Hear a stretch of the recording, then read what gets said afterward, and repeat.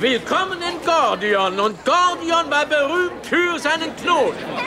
Eines Tages prophezeite das Orakel, derjenige, der den gordischen Knoten löst, wird die ganze Welt erobern.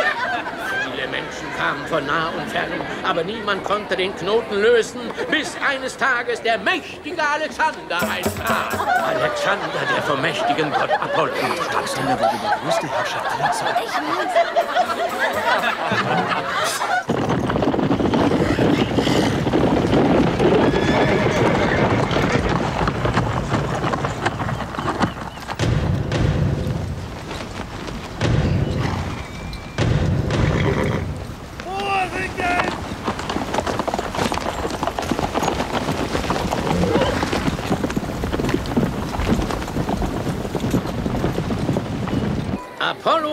Apollo erleuchtete Alexander und verriet ihm, wie der Knoten zu lösen sei.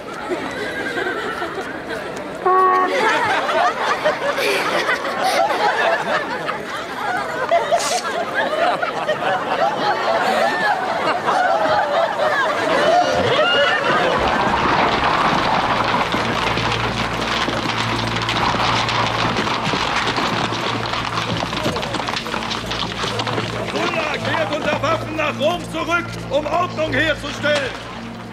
Er verfügt, dass Unbeteiligte von ihm nichts zu befürchten haben. Aber jene, die sich gegen ihn verschworen haben, werden aufs Schwerste bestraft. Die Männer, deren Namen auf diesen Listen stehen, werden hiermit für rechtlos erklärt. Ihnen werden alle Bürgerrechte aberkannt. Wer ihrer habhaft wird, darf sie augenblicklich töten. Jeder, dem es gelingt, einen von Sullas Feinden niederzuschrecken, gilt als Freund des Staates. Und er wird belohnt mit dem Vermögen und dem Grundbesitz, welches der Rechtlose hinterlässt.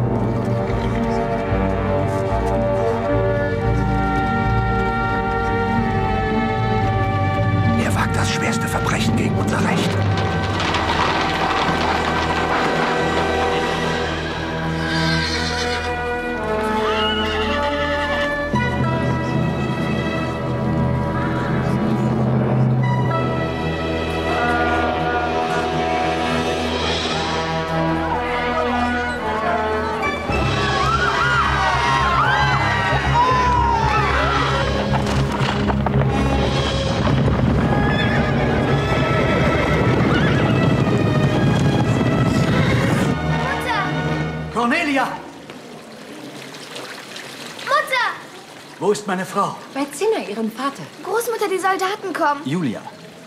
Bleib bei ihr. Sulla hat die Stadt mit seinem Heer eingenommen. Er hat Listen erstellt. Hunderte unserer Anhänger stehen darauf. Du auch? Nein, aber Cornelias Vater. Julia, bleib im Haus. Geh nicht!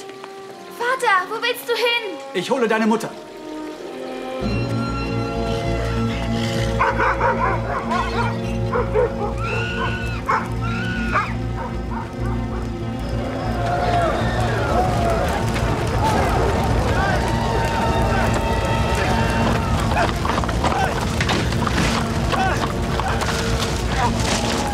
Ja, da ist es,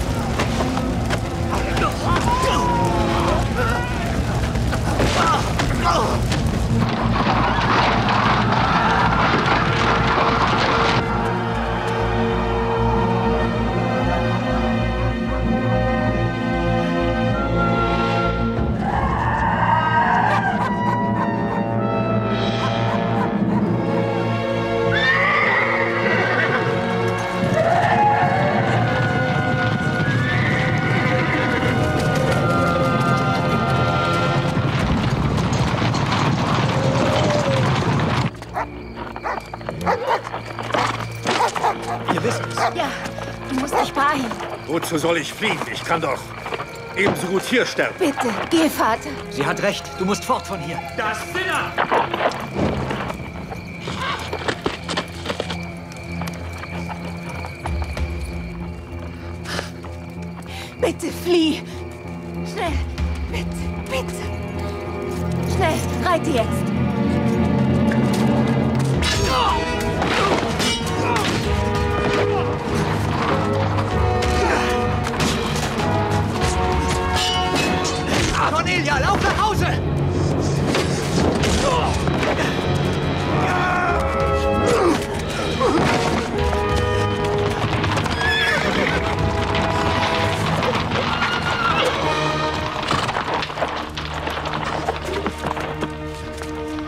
Hat Sinan geholfen zu entkommen.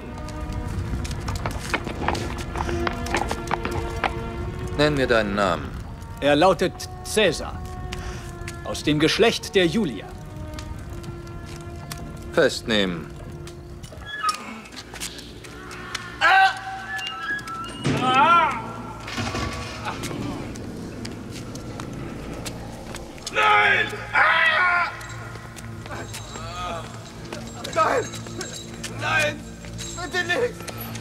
Nein!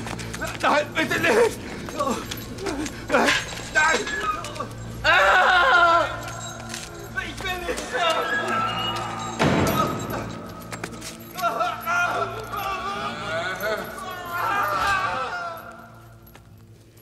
Für jeden Herrscher ist es erstrebenswert, dass Frieden im Volk sei. Doch Frieden im Volk ist nur möglich, wenn es einen Senat hat, der es vertritt. Seit wann hat der Senat jemals das Volk vertreten?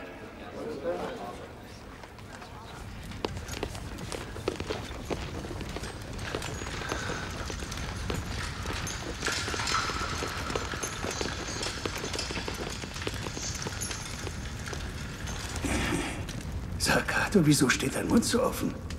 Du hast nichts zu befürchten. Du stehst nicht auf meiner Liste. Sulla, wenn ich auf deiner Liste stünde und es wäre zum Wohle Roms, würde ich mit Freude in den Tod gehen. Nun, wenn du das sagst, dann zweifle ich auch nicht daran, dass es dir ernst ist. Also, ich wiederhole, wann hat der Senat jemals das Volk vertreten? Ich verlange, dass der Mann mit der, der einfachsten Herkunft mir darauf antwortet. Hm? Du? Du?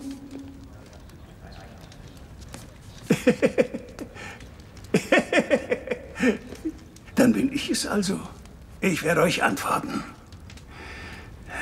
Ihr seid alle Aristokraten. Eure Füße haben nie die Erde nackt berührt und euer Arsch nie ein Pferd. Wie könnt ihr denn überhaupt Vertreter eines Volkes sein, mit dem die meisten von euch gar nichts gemein haben? Wir vertreten das Volk, indem wir seine Traditionen wahren. Wenn es fürchtet, du willst König werden. König? Hast du König gesagt? König? Was könnte ich mit dem Titel König erwerben, das ich nicht bereits habe? Auch dann, wenn das Volk wüsste, dass der Senat weiterhin zusammentritt, um dich zu beraten. Oh, ja, ja. Und das wird er auch. Das ist äh, mein sehnlichster Wunsch.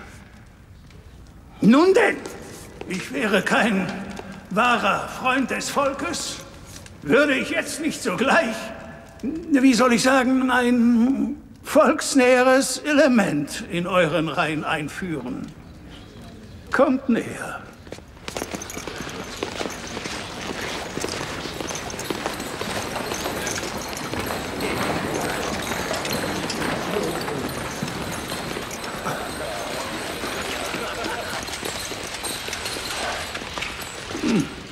Ihr werdet fortfahren, mich zu beraten und auch weiterhin darüber debattieren, was das Beste für das Volk ist. Aber meine Männer hier verbleiben bei euch und tragen dafür Sorge, dass die Entscheidungen, zu denen ihr gelangt, auch die richtigen sein werden. Aber ist das nicht wieder das römische Gesetz? Ich habe dieses Gesetz soeben geändert. Ich verstehe, ja. Aber bleibt für uns auch etwas von den alten Prinzipien übrig? Was Metellus meint, ist nicht, dass wir dich bitten würden, jemanden zu begnadigen, den du beschlossen hast zu vernichten. Es würde nur beruhigend wirken, wenn du kundtun könntest, wen du zu verschonen beabsichtigst. Ach, komm, komm, Cato. Du weißt, wie Allianzen sich in unruhigen Zeiten ändern können. Nun, äh, aber kannst du uns vielleicht sagen, wen du zu töten gedenkst?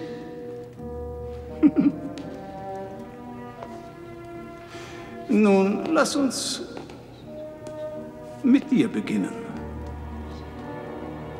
Ich habe nur in Worte gefasst, was jeden hier von uns bewegt. Nun, ich kann unmöglich alle töten. Also werde ich folglich nur dich töten. Ich hebe das vielleicht wieder auf, aber vielleicht auch nicht. Ich lasse es dich nach dem Abendessen wissen. Und um deiner selbst willen, Hoffe darauf, dass das Essen gut ist.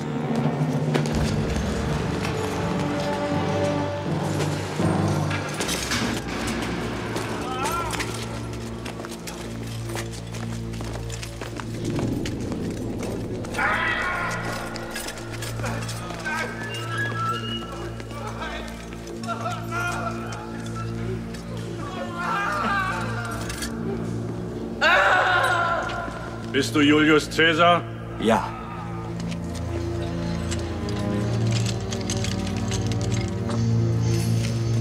All that.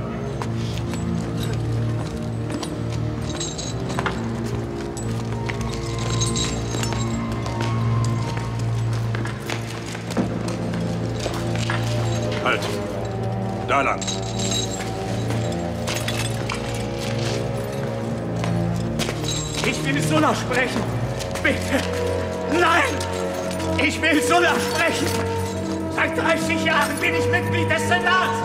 Ich will Sulla sprechen, habe ich gesagt. Ich will Sulla. Die Männer werden sich um ihre Ämter neu bewerben müssen und das ist nicht verhandelbar. Wer ist das? Julius Caesar. Ah, der Neffe des Marius.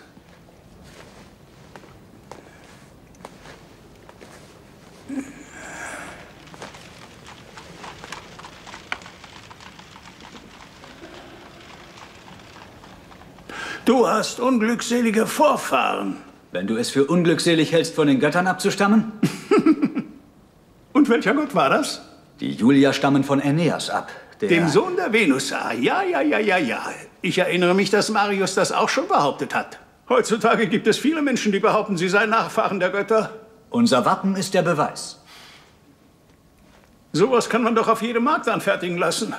Für ein paar Dinar. Warum wurde ich zu dir gebracht? Deine Mutter kam, um mit mir zu sprechen.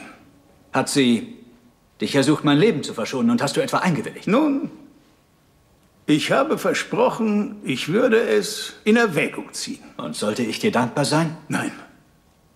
Sie ist es. Wir sind alte Freunde. Du hast viele alte Freunde getötet. Oh ja, wie wahr, wie wahr. Alte Freunde bei Tag werden zu neuen Feinden bei Nacht. Was verlangst du als Gegenleistung für mein Leben? Wieso denkst du, dass ich eine Gegenleistung erwarte? Männer wie du verschenken nichts ohne Gewinn. Ich bin kein Mann ohne Mitgefühl. Ich werde dir helfen, wenn ich es kann. Aber du musst zuerst die Schwere deines Verbrechens erkennen. Zehner war mein größter Widersacher und du hast ihm geholfen zu entkommen. Es gelang? Natürlich nicht. Er ist meinen Soldaten entkommen, nur um dann von einem seiner Diener getötet zu werden. Und meine Frau? Sie ist wohlauf. Ich füge Frauen kein Leid zu. Und da du ja nur der Sohn Zinnas durch Heirat bist, würde ich dir auch keines zufügen. Sofern?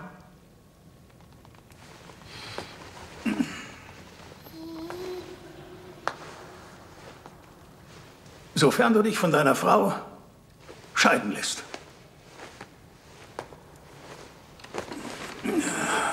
Nun? Nein, ich weigere mich. Du willst dich nicht scheiden lassen, obwohl es dich dein Leben kosten könnte? Meine Frau bedeutet alles für mich. Sie ist tapferer als ich, sie ist klüger als ich und sie ist aufrichtiger als ich es bin. Sie ist erheblich mehr wert, als ich es bin oder du es bist. Oder deine Macht. Ich trenne mich nicht von ihr. Ach, Pompeius, was sollen wir nun mit so einem Mann machen?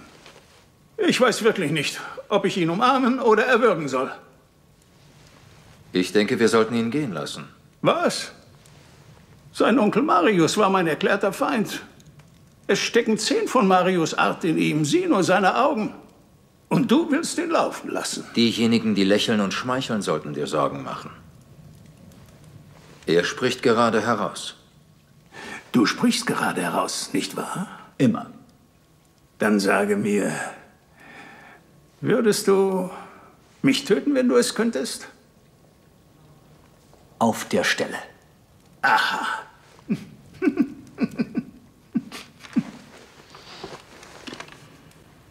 Du kannst gehen. Ich sagte, es steht dir frei zu gehen.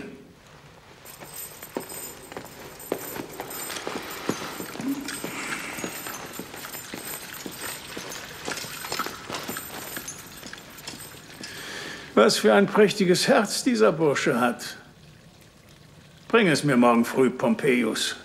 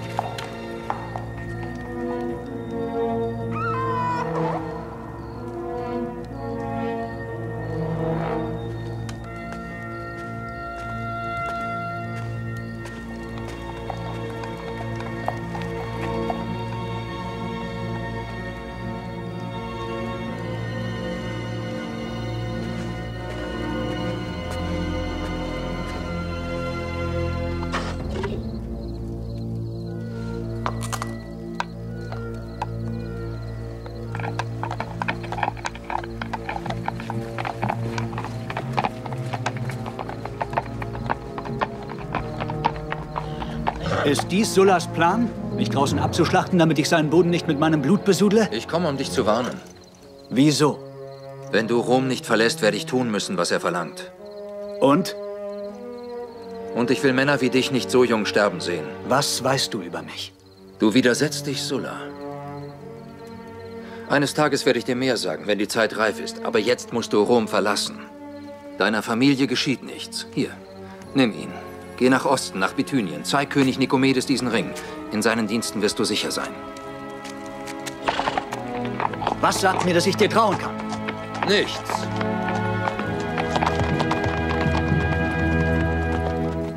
Ich werde mein Schicksal nicht diesem Mann anvertrauen. Dann lässt du dich von Sulla töten? Er kann es ja versuchen, wenn er will, aber ich verlasse Rom nicht. Warum musst du so starrsinnig sein? Pompeius riskiert viel für sein Hilfsangebot. Warum nimmst du es nicht an? Er ist Sullas Vertrauter. Es könnte eine Falle sein. Traust du denn niemandem mehr? Doch. Ich vertraue dir. Dann hör doch auf mich. Wolltest du nicht für ein freies Rom kämpfen? Denk an meinen Vater. Du weißt, ihm hat keiner Hilfe angeboten.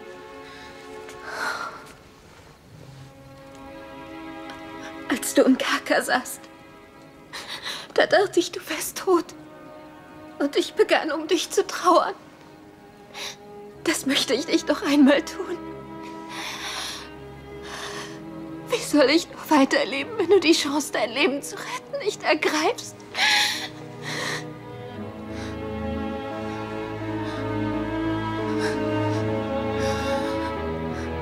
Ich liebe dich doch so sehr.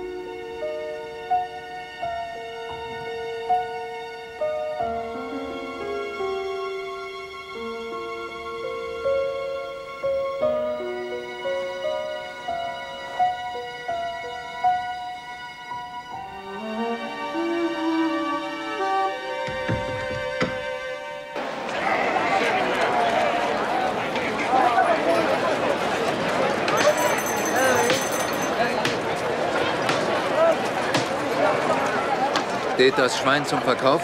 Wie viel willst du mir dafür geben? Zehn Dinar. Das ist eine Menge für ein Schwein. Du musst es auch noch zerlegen. Julius Caesar.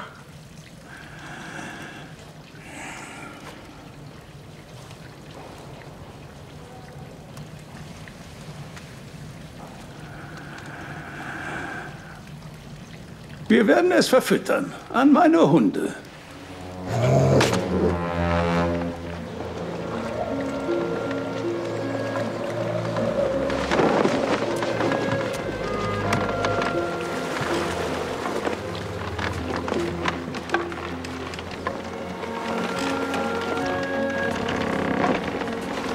Das ist die Küste von Kreta.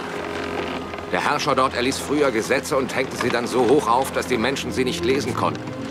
Und wenn sie gegen das Gesetz verstießen, ließ er keine Gnade walten. Heute wimmelt es dort von Piraten an den Gestaden. Wir müssen für die Nacht ankern.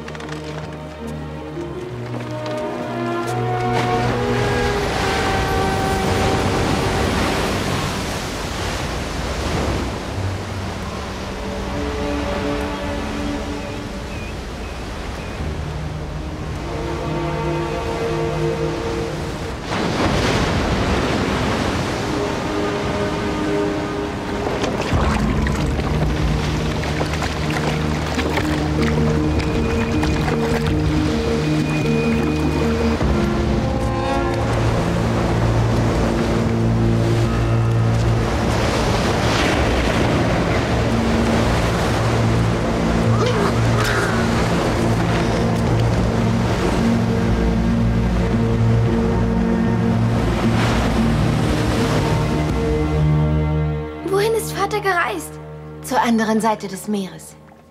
Wie lange dauert es, das Meer zu überqueren? Das hängt vom Wind ab. Hin und wieder schafft man es in Tagen. Vielleicht ist er schon dort und in Sicherheit bei König Nikomedes.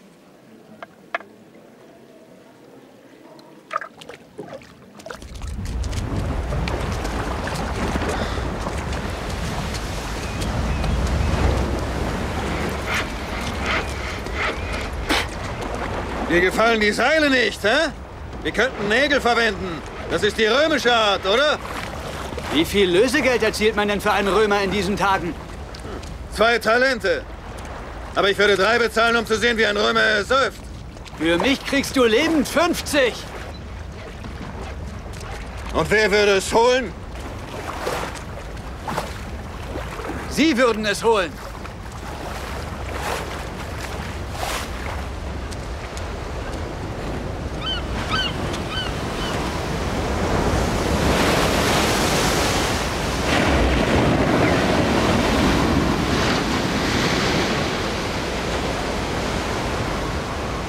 Hey!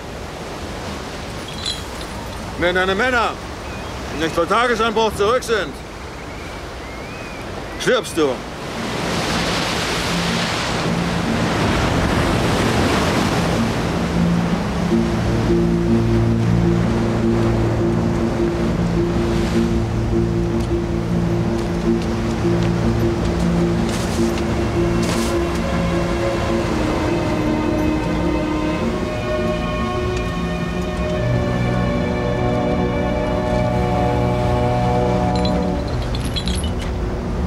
Zeit ist um, Römer.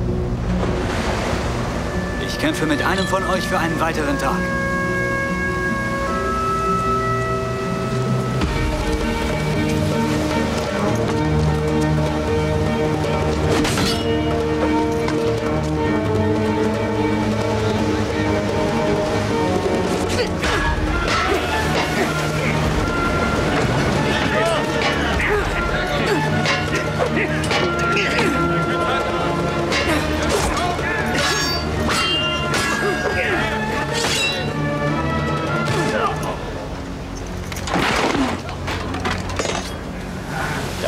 Einen Tag.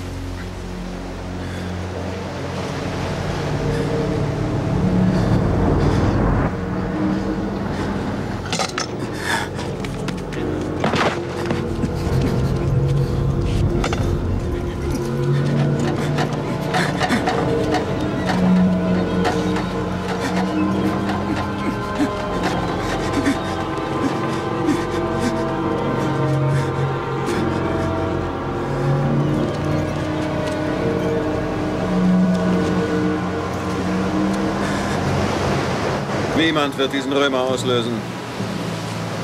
Werft ihn ins Meer.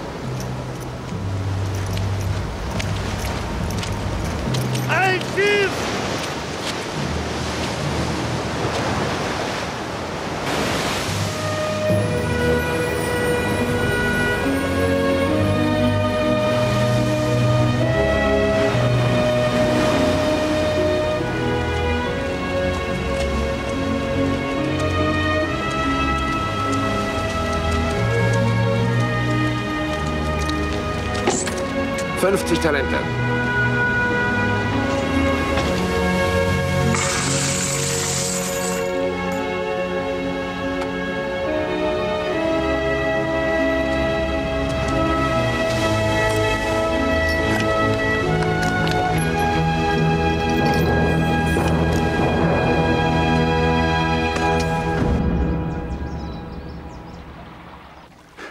Zufällig also fand das Geld den Weg in deinen Beutel. Herr, ich habe dich nie um eine Münze bestohlen. Also nehme ich an, es waren die Goldschmiede, die mich wieder einmal beraubt haben. Herr, Sie sind dafür verurteilt worden. Ich kenne doch den Lauf der Dinge. Du teilst den Gewinn mit den Männern. Du bezahlst mich gut, Herr. Ich würde niemals mein Leben für eine Goldmünze aufs Spiel setzen. Dies ist der richterliche Beschluss. Die Goldschmiede haben gestanden. Flavius hat nichts damit zu tun. Willst du sagen, dass ein Mann, der mit so viel Gold hantiert, nie etwas in seine eigene Tasche gesteckt hat? Hm? Aber seine Unschuld ist erwiesen. Dies erfordert dein Siegel. Er wirkt ihn. Wartet! Hm? Die Richter befanden ihn für unschuldig. Aber ich, ich billige das Urteil der Richter nicht. Sulla.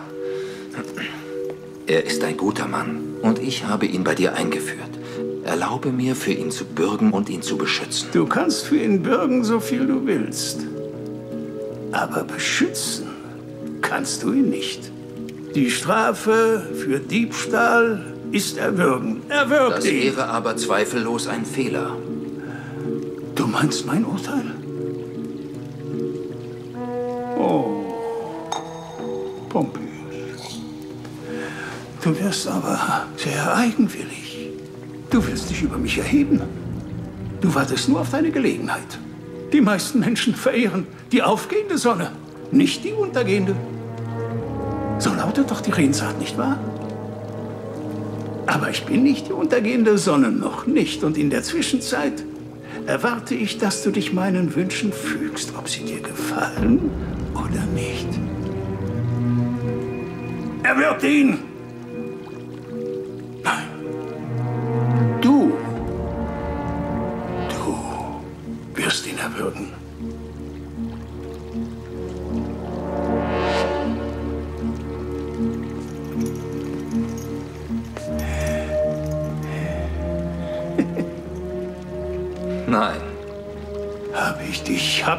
Nein sagen hören? Oh, mein lieber General, ich habe dich aufgefordert, Flavius zu erwürgen und du wirst ihn auch erwürgen und du machst es mit deinen eigenen bloßen Händen.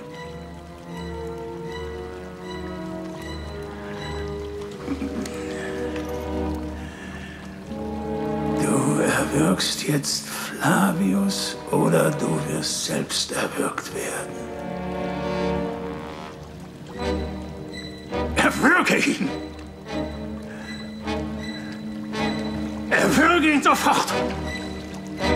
Ich dulde nicht, dass man meine Befehle missachtet! Ich bestehe! Ausgezeichnete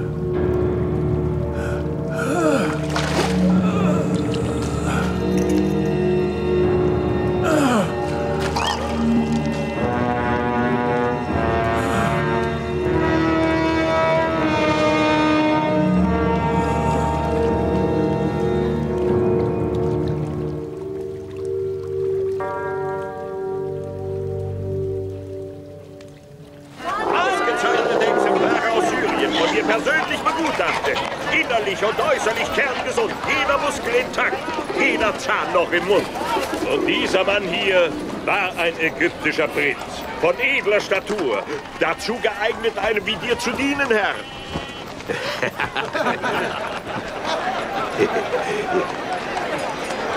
ah ja, Herr, diese junge Schönheit stammt frisch aus dem Norden. Sie haben dort besondere Spielarten, Ihre Herren zu beglücken. Und sie ist jung genug, dass du ihr noch deine beibringen kannst. hm? Oh nein, nein, nein, nein, nein, Herr. Er ist ja fast nicht in der Lage, ohne Hilfe einen Weinkrug anzuheben. Er wird allem widersprechen, was du sagst. Er ist unseligerweise geschult in den Künsten des Wortes. In welchen Künsten des Wortes bist du versiert? In den Künsten des Euklid und Aristoteles, in den Künsten des Verses. Ich rezitiere aus dem Gedächtnis viel von Homer und alles von Pindar. Ich kenne die Künste der Politik und des Staates, die Logik, Metaphysik, Erkenntnistheorie, Rhetorik und Sophisterei. Sophisterei? Heißt das, dass du weißt, wie man gute Lügen erzählt? In der Zweideutigkeit liegt große Macht, Herr. Und nicht alle Menschen nutzen die Vorteile in böser Absicht. Hast du Erfahrung darin, Kinder zu unterrichten? Ja. Und ich ziehe es dem Unterricht der Alten weitaus vor. Wieso das? Bei den Kindern zeigt sich viel mehr Weisheit.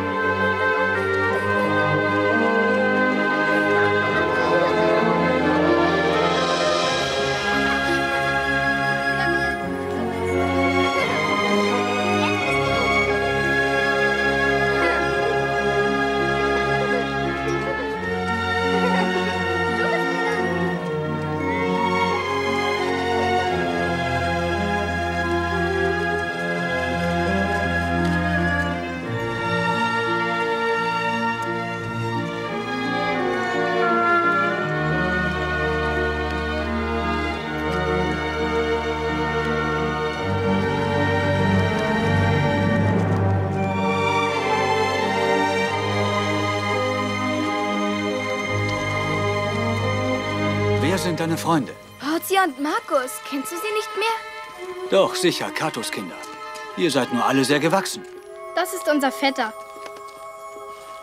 Brutus. Was liest du da?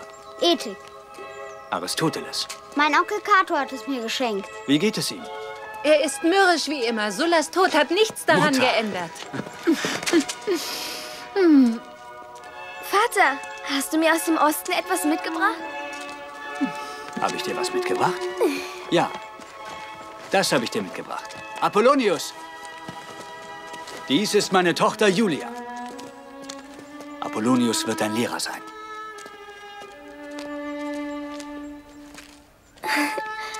Wo ist meine Frau?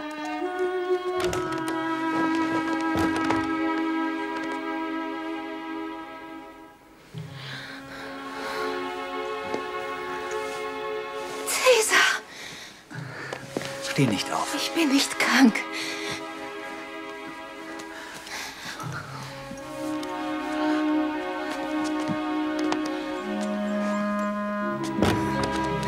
Ich werde mich schnell ankleiden.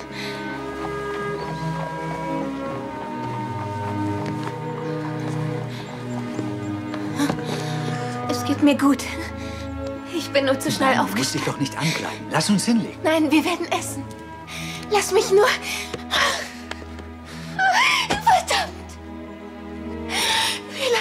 Ich auf dich gewartet? Ich hätte beinahe aufgehört, es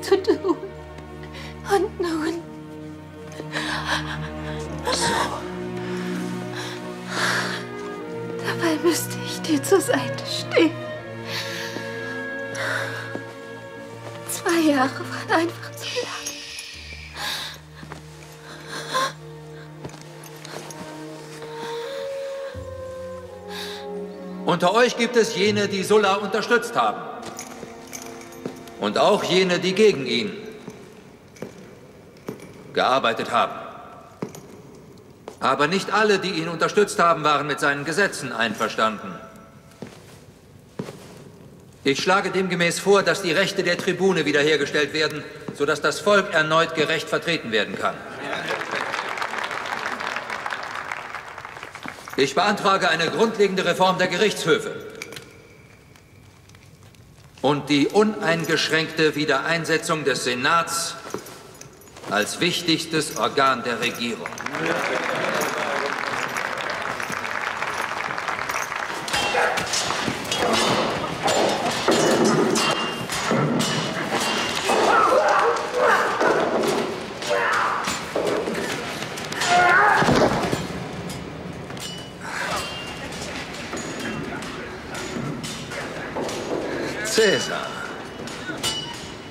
Es ist schön, dich bei einem weiteren Sieg zu sehen.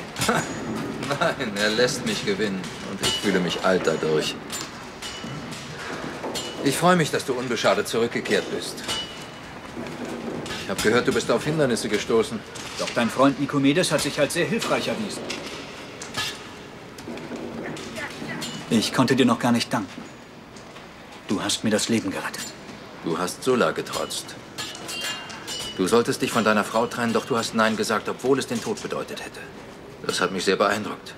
Und es hat mich an etwas erinnert. Verstehst du, mein Freund? Sulla hatte mir einst auch befohlen, mich von meiner Frau zu trennen. Und ich habe mich diesem Befehl unterworfen. Ich verließ die Frau, die ich liebte.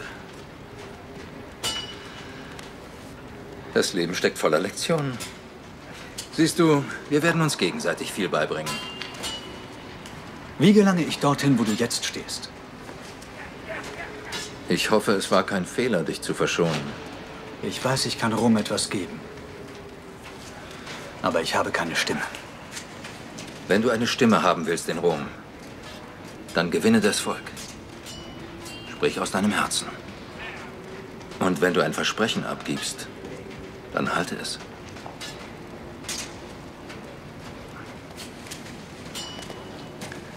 Pompeius, ich verspreche dir, solltest du je meine Hilfe brauchen, dann gib mir ein Zeichen und ich stehe an deiner Seite.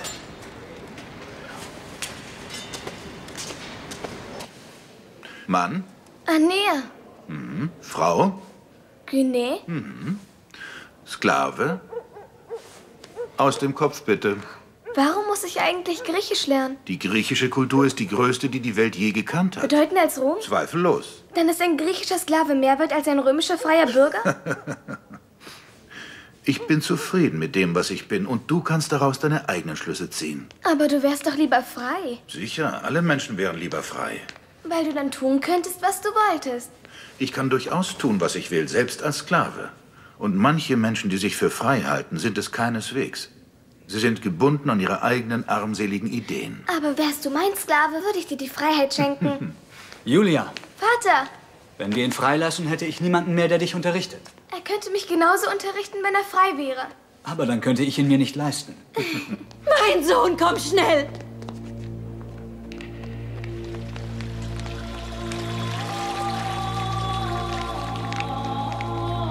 Cornelia. Cornelia? Cornelia. Cornelia, wach auf. Bitte verlass mich nicht. Cornelia. Cornelia, wach auf. Bitte, bitte.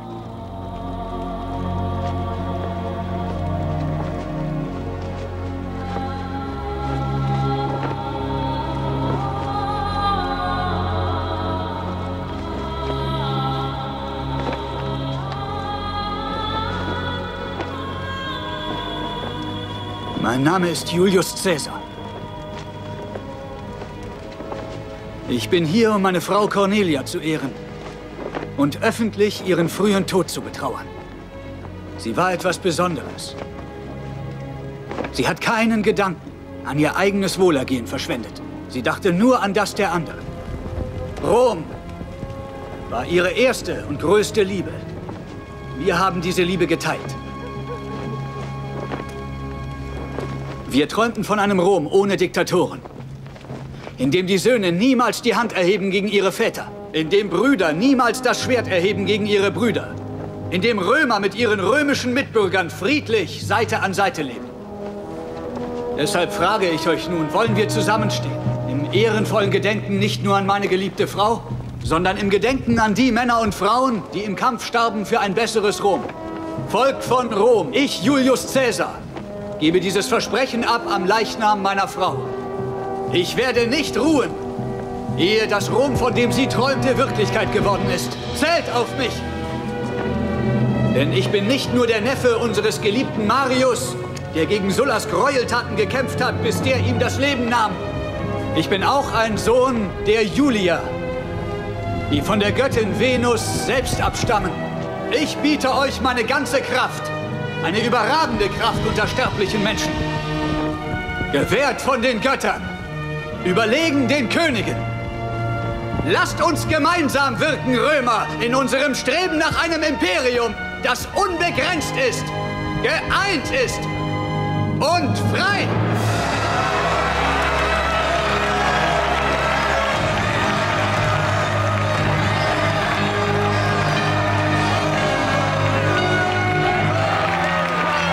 Müssen ihn im Auge behalten. Oder ihn uns zunutze machen.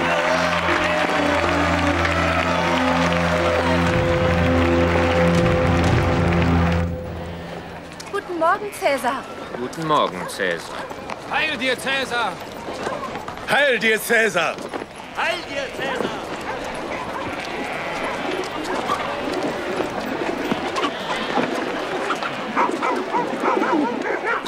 Gegrüßt, Cäsar. Und du, Julia. Ich habe etwas für dich. Na, wo hatte ich es denn? Ah, hier. Und ich hoffe, es bringt dich zum Lächeln. Ich versichere dir, sie ist auch stubenrein. Haha, und jetzt sehe ich dich ja zum ersten Mal seit Wochen lächeln. Haha. Verschwindet! Was soll ich tun? Ich habe nichts mehr! Hey! Hört sofort auf damit! Es gibt nichts, was man dagegen tun kann. Was ist denn passiert? Der Brotpreis hat sich verdreifacht. Es gibt kein Korn mehr in Rom. Warum? Weil die Getreidelieferungen aus Ägypten von Piraten abgefangen wurden. Halb Rom ist ohne Brot. Die Stadt steht kurz vor einer Revolte. Nur die Reichsten können sich noch Brot leisten. Wir müssen jetzt die Piraten angreifen oder Rom wird für immer gelähmt werden. Deshalb schlage ich vor, dass man Pompeius Legionen unterstellt, um dieses Problem zu bekämpfen. Ein für alle Mal. Es stellt sich nicht die Frage, ob wir die Piraten bekämpfen oder nicht. Es geht um das Wie.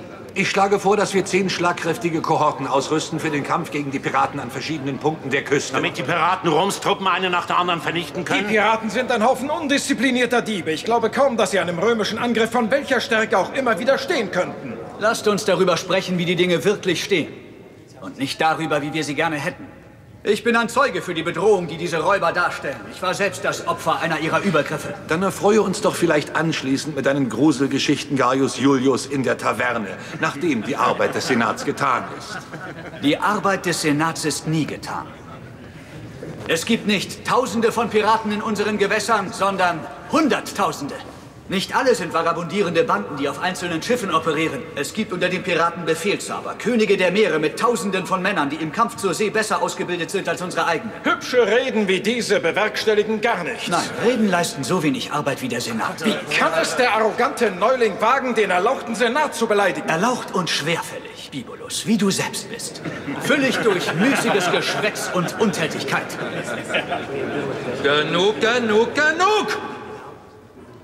Wir haben einen Mann in unserer Mitte, der diesen Konflikt mit den Piraten beenden könnte.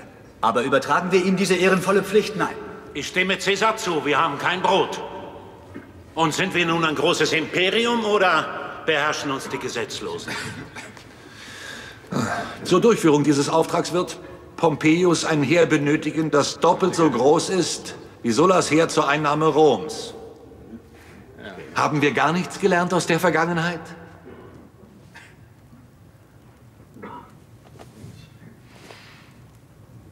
Ich verstehe. Rom soll hungern, weil Cato keinen einzigen Mann findet, dem er vertrauen kann. Nicht jeder Mann mit einem Heer will die Macht an sich reißen. Nicht jeder Mann ist ein Sulla. Manche Männer werden von den Umständen beherrscht, aber Männer von Charakter unterwerfen die Umstände ihrem Willen. Sie zwingen die Natur dazu, sich unterzuordnen, sodass nur ihr Wille auf dieser Erde durchgesetzt wird. Sie trotzen den Elementen. Und manchmal trotzen sie sogar ihrer eigenen Natur, um daraufhin ihre Visionen vor aller Augen zu verwirklichen. Pompeius ist ein solcher Mann. Jene von euch, die reich an Erfahrung sind, werden wissen, dass nur eine Sache eine Nation klein hält. Uneinigkeit. Parteien, die sich bekämpfen, anstatt sich zu einer starken Macht zusammenzuschließen. Solange wir uns bekämpfen, in diesem Raum und nach engstirnigen Siegen trachten, persönlichen Rachegelüsten frönen, wird Rom klein bleiben. Ich schlage vor, wir stellen unsere persönlichen Ansichten hintan und lassen uns für eine gewisse Zeit nur von einem Ideal leiten. Der Liebe zu Rom. Ich schlage vor, dass wir unsere Kraft konzentrieren, um eine Macht zu werden, die die Welt noch nie gekannt hat. Ich schlage vor, dass uns ein Mann, ein einzelner Mann, aus der Dunkelheit herausführt. Und das ist Pompeius. Wer von euch ist dafür?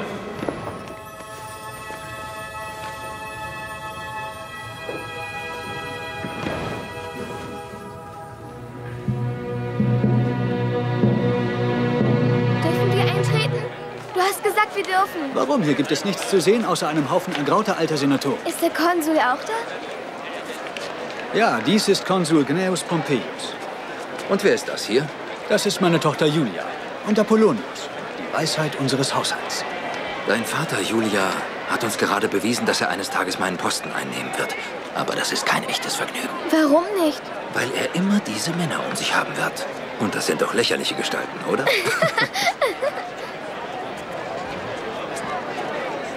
Wir sehen uns, wenn ich zurückkehre. Und zwar als Sieger.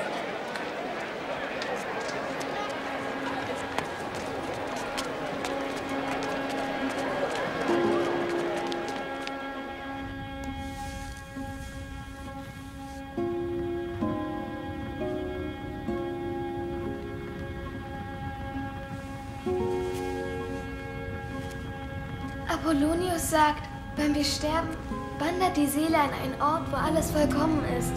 Der Frieden ist ein vollkommener Frieden. Und alle Kreise sind vollkommen rund.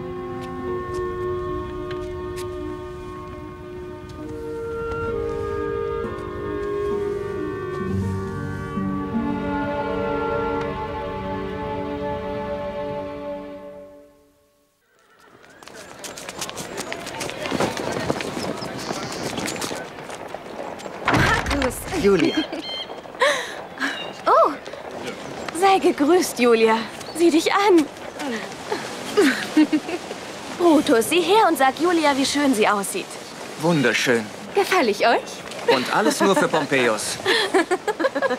Ist äh, Apollonius zurückgekehrt? Ich wollte mit ihm über Plato sprechen. Nein, er ist nicht zurück. Sicher kämpft er an der Seite der rebellierenden Sklaven. Diese Rebellen haben mit Apollonius nichts gemein.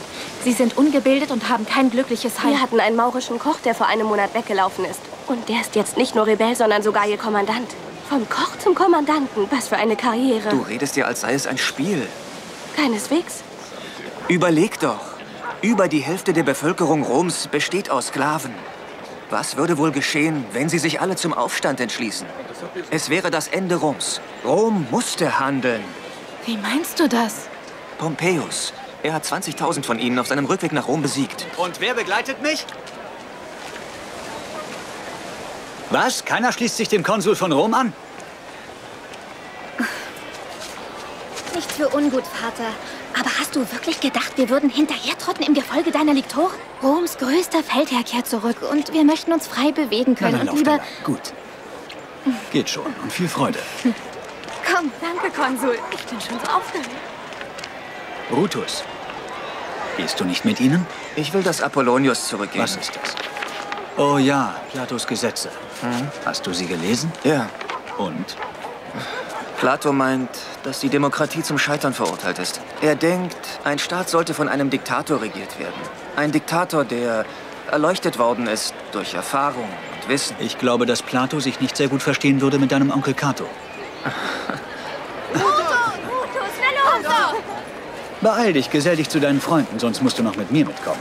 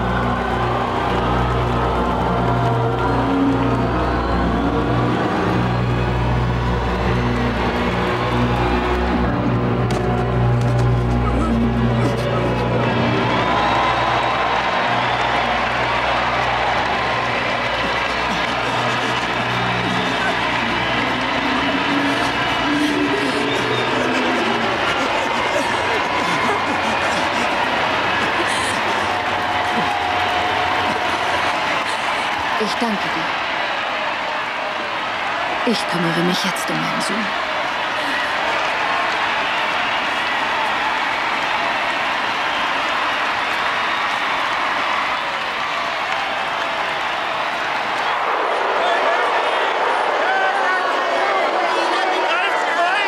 Wer sind diese Männer? Gefangene. Piraten? Piraten und Sklaven. Aufständische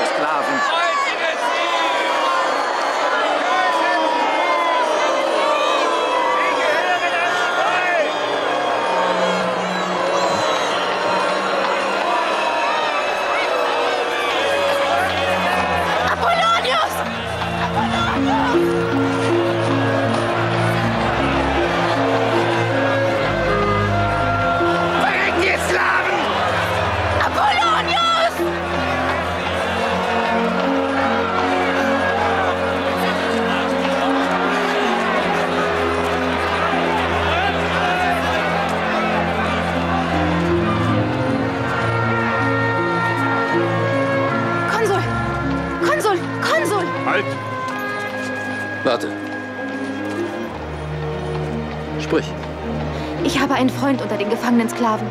Ich ersuche dich, ihn freizulassen.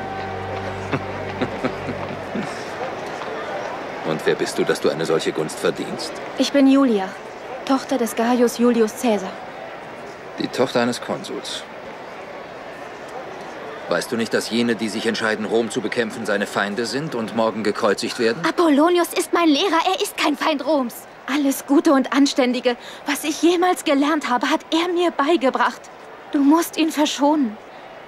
Tu es für mich, Konsul.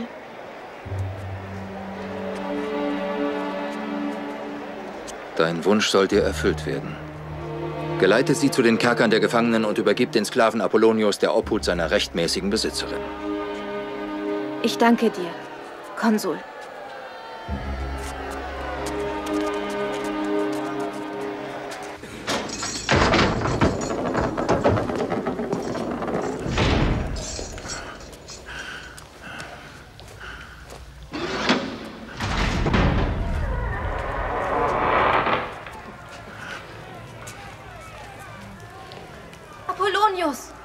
Das, Julia?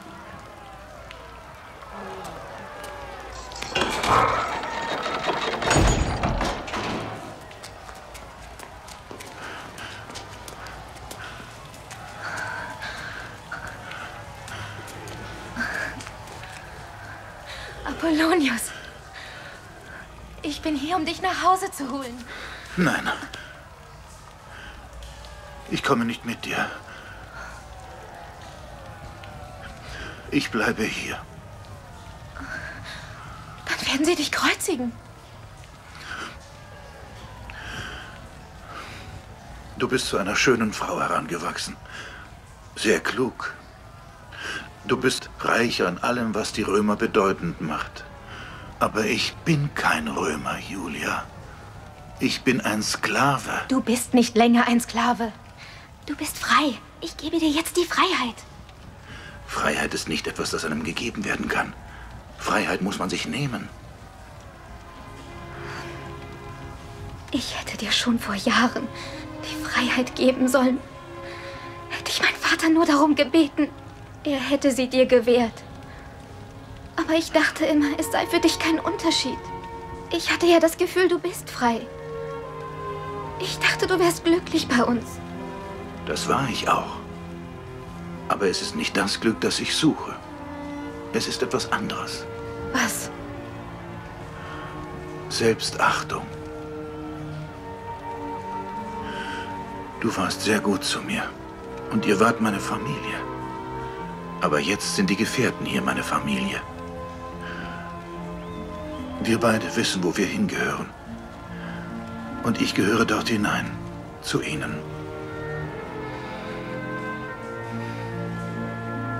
Eines Tages wirst du das verstehen. Meine liebe Julia. Leb wohl.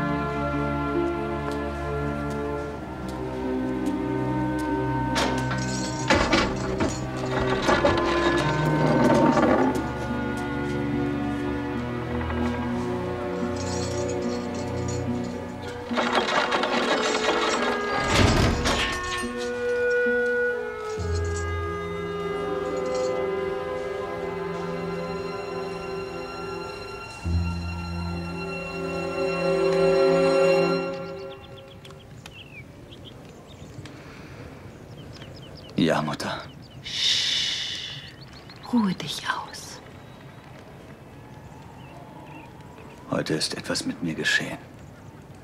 Es ist ein Leiden, nicht mehr und nicht weniger. Dein Großvater litt auch an diesen Anfällen und hat bis ins hohe Alter gelebt. Nein, ich meine etwas anderes. Bevor es geschah, habe ich Pompeius beobachtet. Er war immer ein Freund für mich. Und wir sprechen offen miteinander.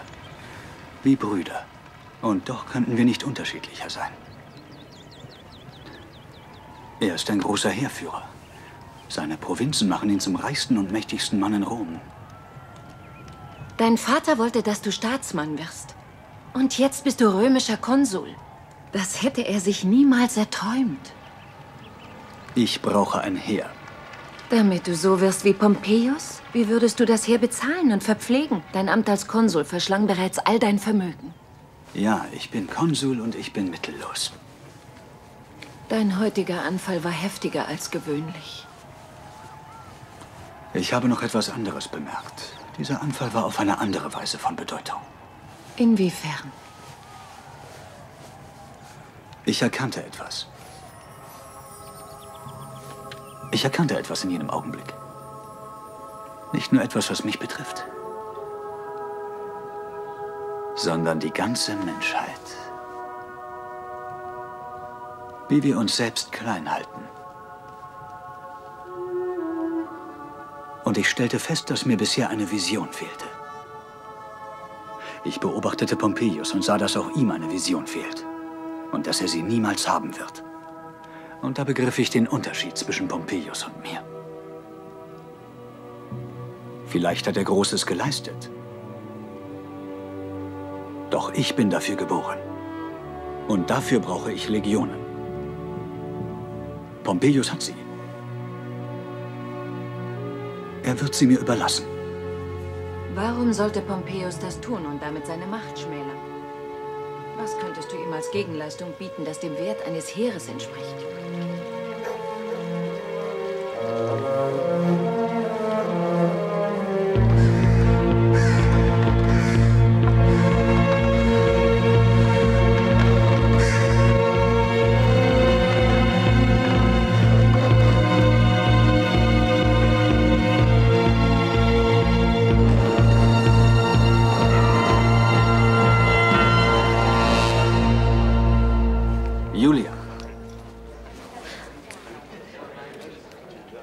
Tut mir leid, was mit Apollonius geschehen ist.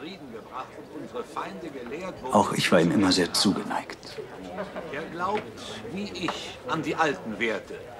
Wir vertrauen auf die Weisheit unserer Vorväter und ihre Gesetze. Und ich, Cato, vertraue ihm. Hi, Pompeius! Cato, du schmeichelst mir. Aber ehren wir doch jetzt einen anderen Mann. Denn ich hätte nicht auf der anderen Seite des Meeres Krieg führen können, ohne die Gewissheit, dass Rom in guten, sicheren Händen war. Und dafür schulden wir diesem Mann Dank, meinem Freund und gleichrangigen Konsul Gaius Julius Caesar. Heil Cäsar!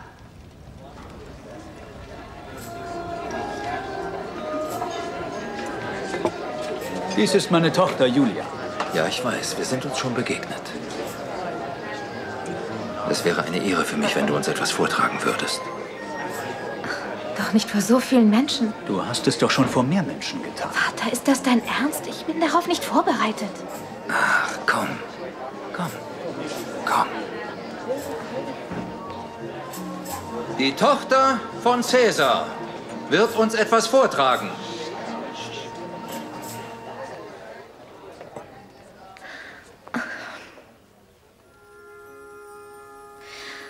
Heute Nacht will ich zusammen mit euch einen Mann preisen, der mir und den Göttern teuer ist. Mächtiger und siegreicher als die Könige von Mykene mit ihren goldhaarigen Pferden und stärker in der Schlacht als die Geister der Krieger, die Trojas Küsten heimsuchen. Hört mich an, ihr Söhne von unerschrockenen Männern. Hört mich, ich besinge den Sieg eines Mannes, der mir teuer ist und den Göttern.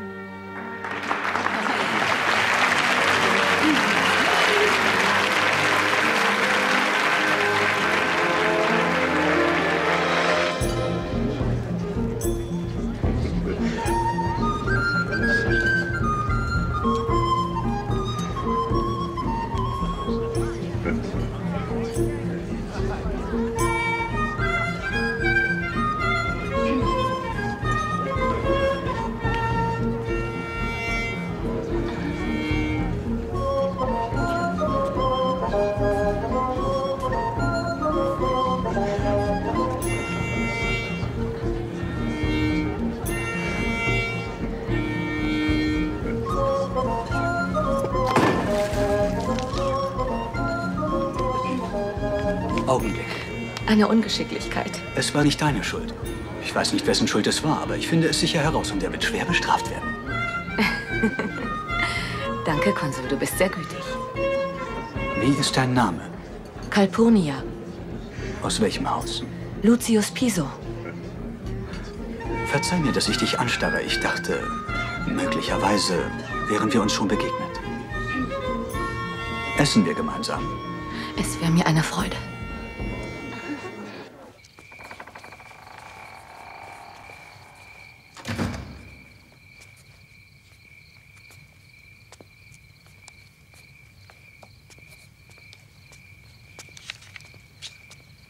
Wie nennst du diese Stunde? Ich denke, sie ist bekannt als die fünfte Stunde. Ja, und die Sonne geht auf. Du hast recht. Ich war mit ihm zusammen. Wir haben getrunken und gegessen und haben uns amüsiert.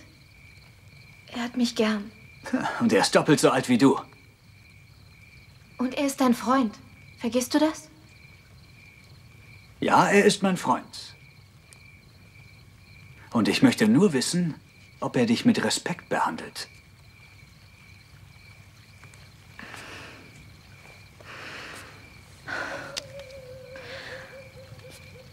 Er gefällt mir. Ja, wirklich.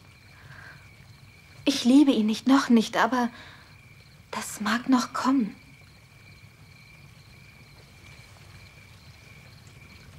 Warum bist du eigentlich so verstimmt?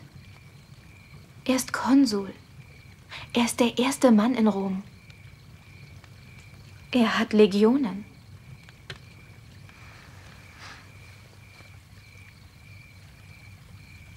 Ihr Preis ist hoch. Ihr Preis? Es ist doch Brauch, dass der Vater eine Mitgift anbietet. Ich besitze nichts, was ich dir geben könnte.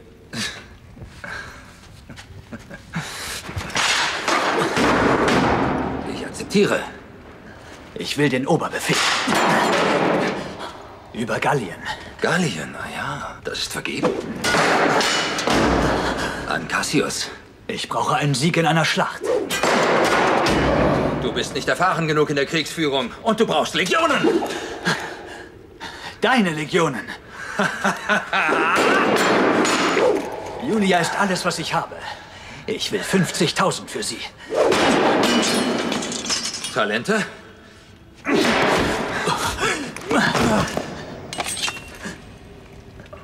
Soldaten.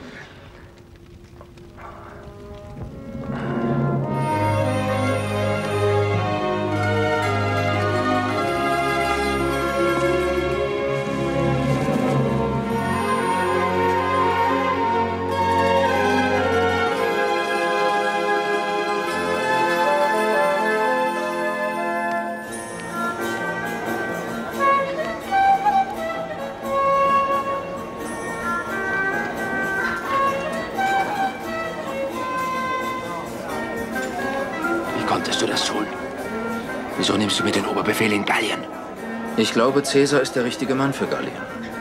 Ah, aber ich hatte bereits erhebliche Ausgaben für die Ausrüstung meiner Männer. Dafür wirst du entschädigt. Was? Du wirst dich um die hiesige Garnison kümmern. Die Garnison? Das kannst du nicht allein entscheiden. Du hast das nicht einmal dem Senat vorgetragen. Das ist Lasst eine uns hier nicht von Politik reden. Auf meiner Hochzeit. Es könnte Pech bringen.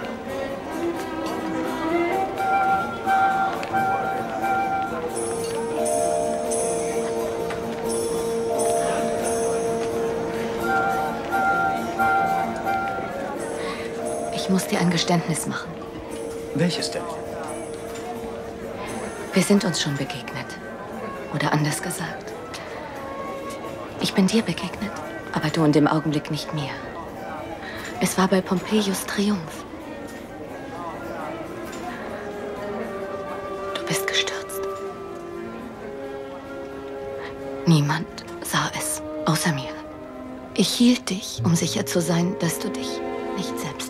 Ich danke dir.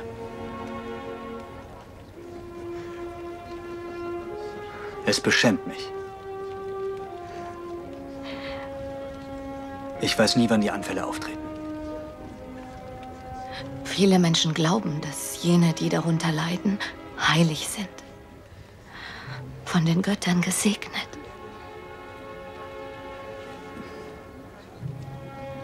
Mag sein.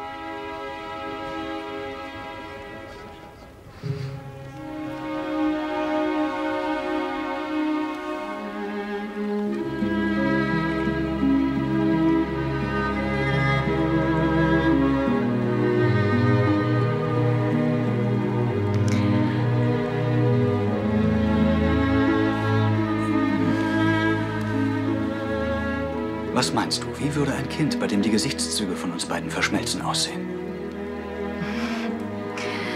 Ich denke, es würde wunderschön aussehen. Wirklich? Ist das etwas, was du gern entdecken möchtest? Ja. Ganz sicher. Ich bin mir meines Namens nicht so sicher wie in dieser Frage.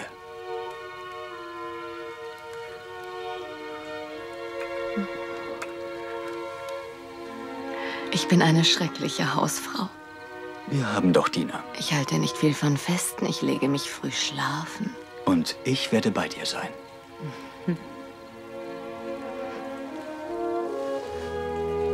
Cäsar, Ja, du musst mir bitte etwas versprechen. alles, was du willst. Komme aus diesem Krieg lebend zurück. Ich verspreche es dir. Und auch schnell. Das sind zwei Versprechen. Und gewinne den Krieg. Das sind drei Versprechen. Und jetzt ist es an dir, mir etwas zu versprechen. Hm. Wirst du mich heiraten, bevor ich aufbreche?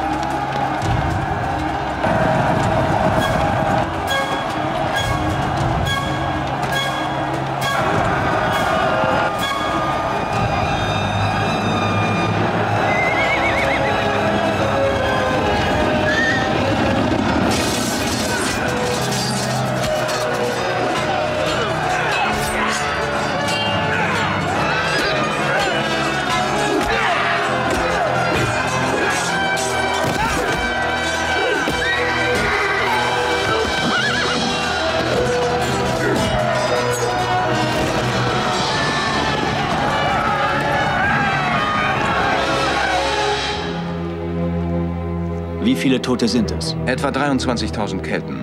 Und Römer? 112. Ich habe sie für die Bestattung in Rom herrichten lassen. Wir kehren aber nicht nach Rom zurück. Wir ziehen weiter gen Norden.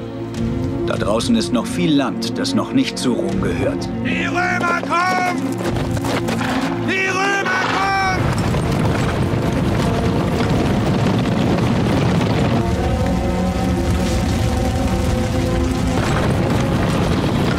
Musst Cäsar auffordern, sich zurückzuziehen. Was ich ihm gewährt habe, mache ich nicht rückgängig.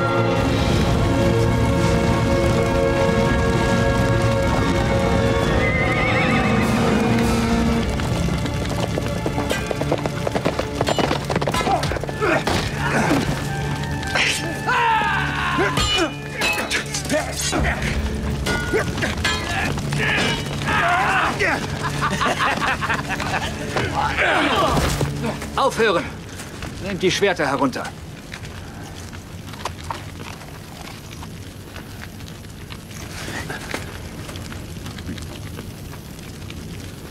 Was wollt ihr hier? Dieses Land gehört uns. Ihr habt kein Recht, hier zu sein. Wie ist dein Name?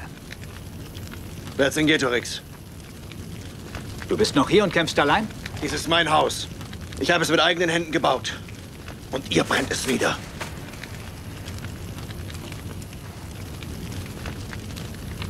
Es steht dir frei zu gehen.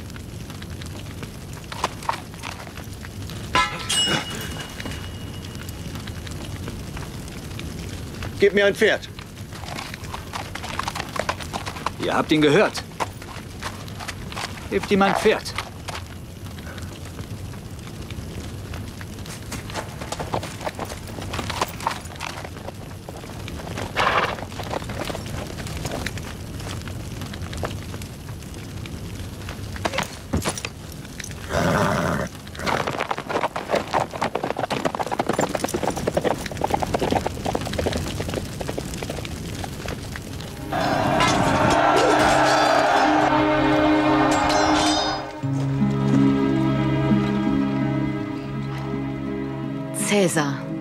Volk spricht von dir mit Bewunderung.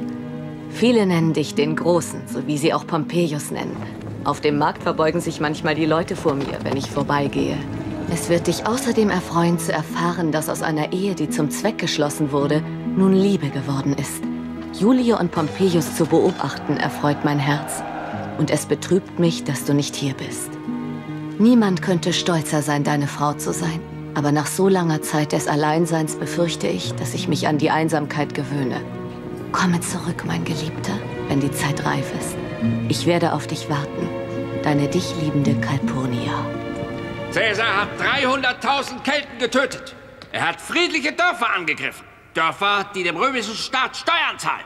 Das dürfen wir nicht tolerieren. So dankst du einem großen römischen General? Caesar hat 100.000 Sklaven nach Rom geschickt. Willst du uns sagen, dass du keinen von ihnen genommen hast? Wären sie nicht von ihm gekommen, hätte ich sie mir von einem anderen geholt. Pompeius, du musst auf der Hut sein. Er ist seit drei Jahren fort und kämpft mit deinen Legionen. Man sagt, äh, er hätte ihren Sold verdoppelt. Sie sind ihm völlig ergeben. Senatoren, wie Cicero es so treffend formuliert hat. Nehmt alle Kraft zusammen für die Bewahrung des Staates. Haltet in allen Richtungen Ausschau nach den Stürmen. Sie werden über euch hereinbrechen, wenn ihr nicht rechtzeitig auf sie gefasst seid.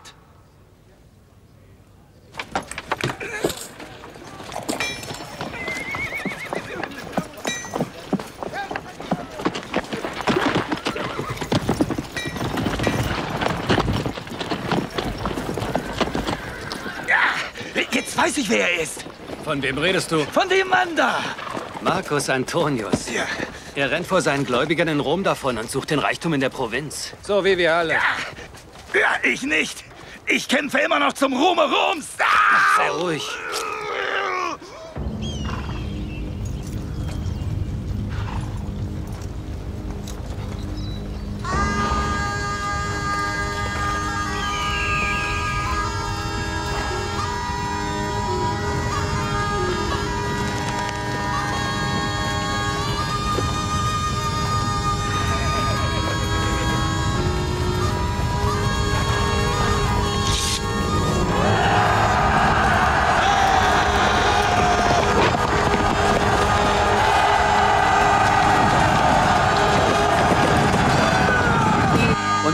Reiterei wurde angegriffen. Von wem? Von gallischen Stammeskriegern. 14.000 Tote. 14.000? Und viele wurden verwundet. Der Feind hat sich unter einem Anführer vereint. Sein Name ist Vercingetorix.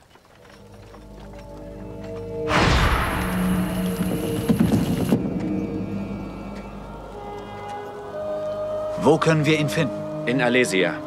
Wie lang ist der Marsch? Acht Tage.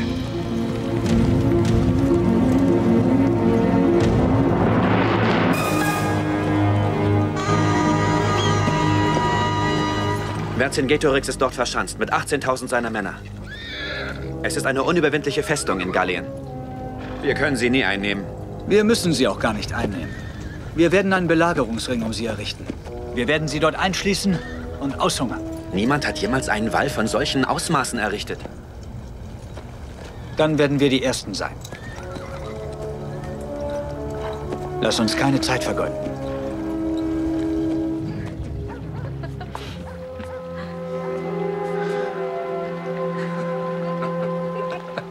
Ich möchte zu Pompeius. Ja, Herr.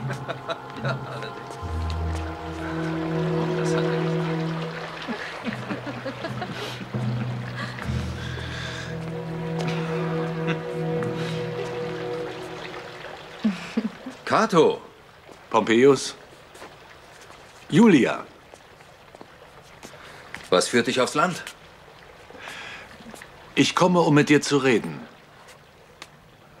Deine Abwesenheit in Rom wurde kritisiert.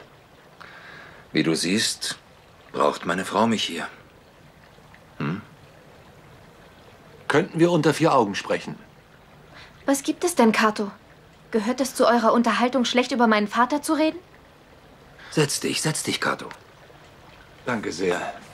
Caesar ist im Begriff, die letzte Festung in Gallien einzunehmen. Vercingetorix hat alle gallischen Stämme zu seiner Hilfe aufgerufen, von den Bergen bis zum Meer.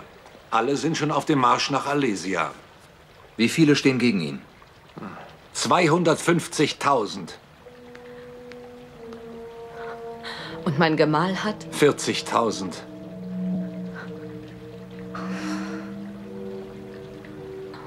Er, er wird sie besiegen. Er besiegt sie schon seit vielen Jahren. Er ist noch nie gegen so viele Männer angetreten.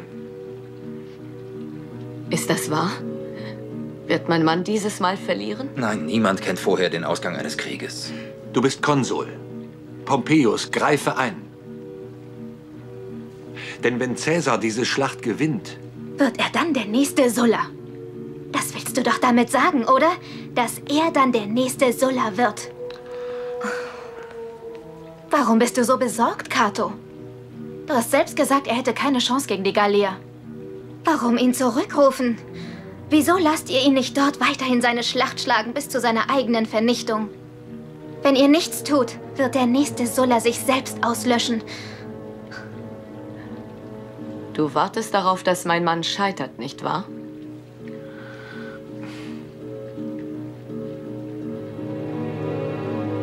Und du auch.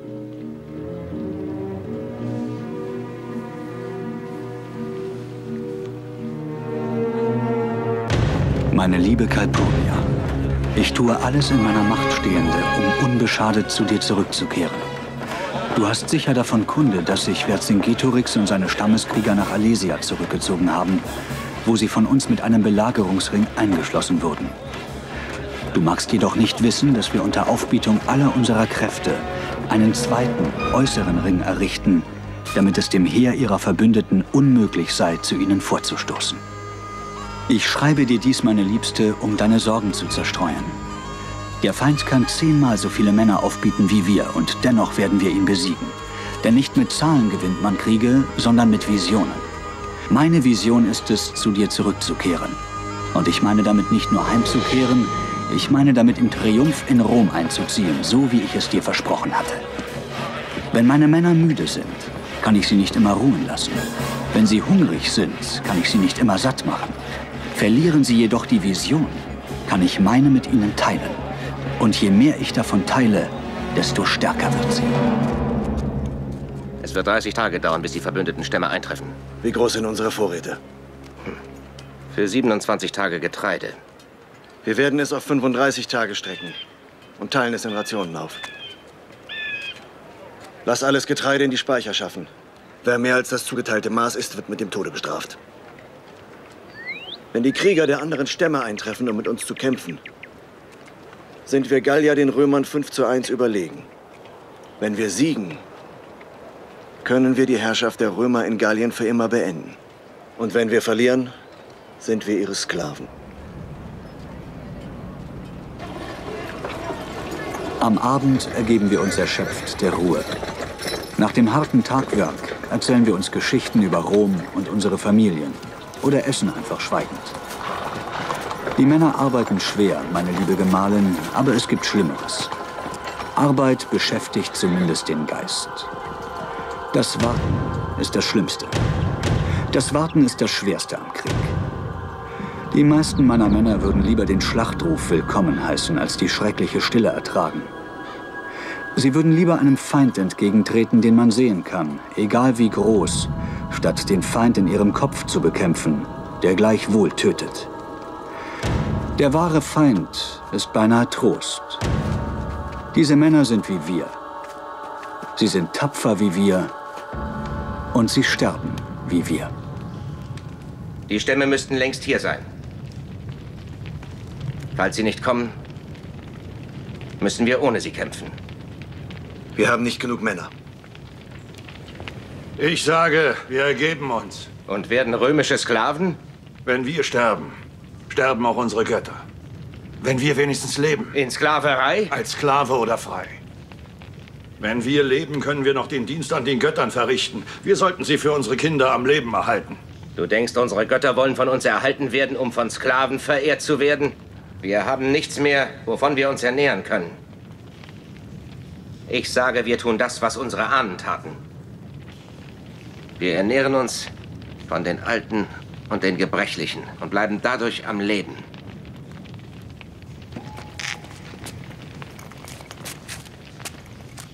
Wir werden nicht unsere eigenen Leute essen. Es sind noch genug Vorräte für einige Tage da.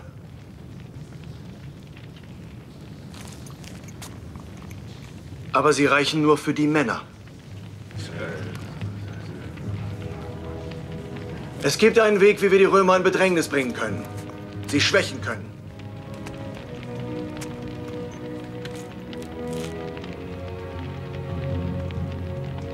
Ich sage, wir überlassen ihnen unsere Frauen und Kinder. Wir werden schon in wenigen Tagen hungern müssen. Wenn unsere Frauen und Kinder ihre Sklaven werden, müssen die Römer sie versorgen und ihre Speicher werden sich schneller leeren. Wir müssen uns von unseren Familien verabschieden. Und das müssen wir noch heute. Was auch geschieht, wir werden die Tore hinter ihnen für immer schließen. Unser Überleben hängt davon ab.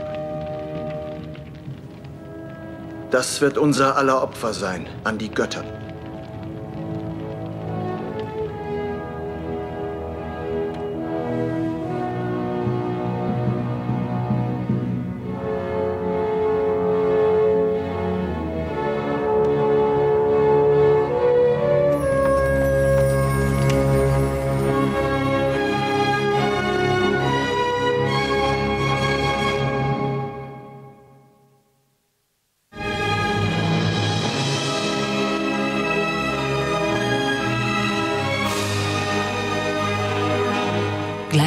Geht es weiter mit Julius Caesar. Wir zeigen den zweiten Teil gleich hier in Dreisat.